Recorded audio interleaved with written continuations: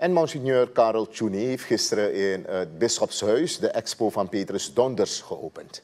In Suriname stond hij bekend als Pirke Donders en hij werd ook wel de apostel der Melaatsen en Indianen genoemd.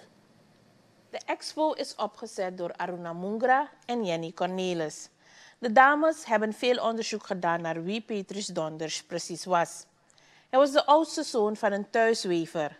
Zijn droom was om priester te worden, maar zijn vader kon de opleiding niet betalen. Nadat Donders in 1831 was afgekeurd voor de militaire dienst, mocht hij knecht worden op een klein seminarie Beekvliet te Sint-Michelstil. Mungra vertelt hoe het onderzoek is verlopen. Dit onderzoek, literatuur en de stukken van het kerkelijk archief, vormen de basis van het verhaal op de expositie. Maar we zijn niet alleen met onze neus in de boeken en papieren gebleven. Jenny en ik zijn ook het veld ingegaan. We zijn meegegaan op bedevaart naar Batavia. En we hebben ook gesprekken gehad met verschillende mensen die allemaal betrokken zijn bij Petrus Donders. Soms op persoonlijke titel, soms als vertegenwoordiger van een organisatie. En al deze mensen hebben ons enthousiast uh, informatie die zij hebben over Petrus Donders hebben ze met ons gedeeld. En we zijn dan ook hen heel dankbaar hiervoor. En zo gaandeweg onze onderzoektocht ontstond bij ons een steeds beter beeld van de persoon Petrus Donders en wat hij heeft betekend voor Suriname en ook nu nog betekent en ook daarbuiten. Een expo in elkaar zetten is niet goedkoop, meen Cornelis. Ze moesten op zoek gaan naar fondsen en dat was heel uitdagend.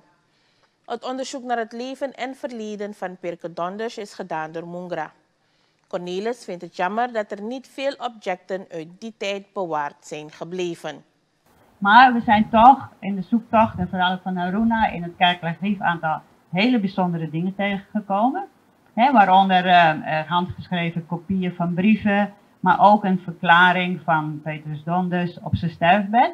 En daar heeft hij verklaard dat hij medicijnen mag, zijn verzorgen medicijnen mag gebruiken uit het, uh, uit van Batavia. Maar de rest van het hele, uh, hele brief kunt u zo meteen lezen op de tentoonstelling. Die ligt boven op tafel met een uh, ondertiteling erbij. Dus dat is een prachtig voorbeeld. Maar we hebben helaas dus niet de, de voorbeelden kunnen doen in de originele, de originele voorbeelden kunnen laten zien. Want het is een heel kwetsbaar ding, al die papieren, ook voor het licht. En dus in overleg ook met het kerkelijk archief hebben we scans gedaan. En die liggen voornamelijk op de, op de tafel en in, de, uh, en in de expositie, omdat het te kwetsbaar is. Maar er zijn zo'n aantal dingen in het kerkelijk archief hebben we ontdekt, die zijn zo bijzonder dat die eigenlijk wel verdere onderzoek behoeven. De expo staat permanent in het Bisschopshuis. De dames hebben ook een museum-app ontwikkeld om het verhaal van de expositie van Petrus Pirke Donders tot leven te brengen.